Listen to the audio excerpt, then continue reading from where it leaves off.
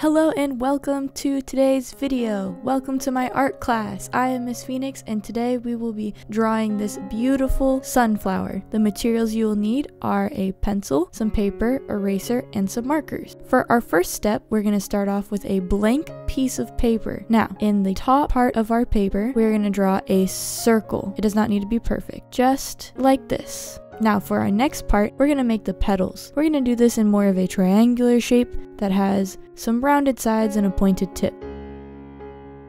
Just like this. Now I'm to do multiple layers of these. You could do as many layers as you want, but I recommend doing three or more.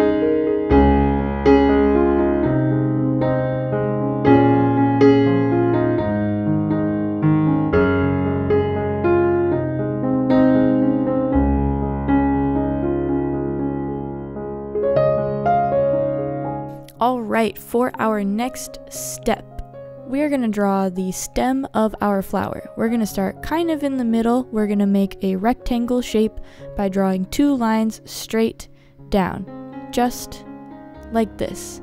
I'm going to put some lines in the middle of my stalk or the stem of our flower.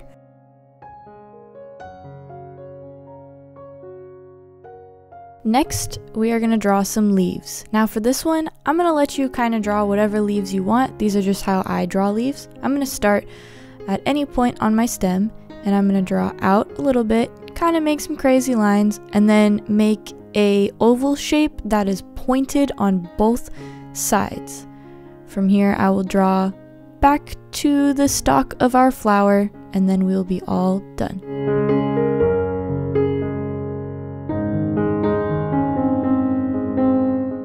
Just like that, we are all done with the pencil part of our flower. Now it's time to outline and color.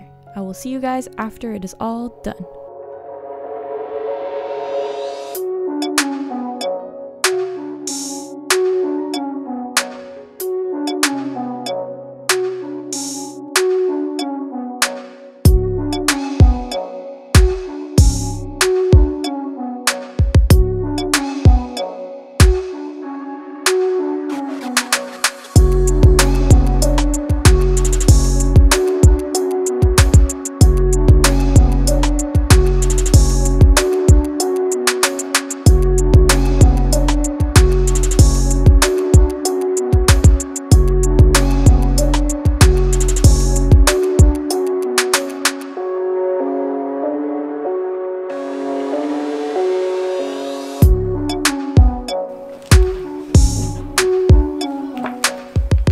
Thank you guys so much for watching today's video. If you liked it, please leave a like on the video, subscribe down below, and we will see you on Friday for the next video.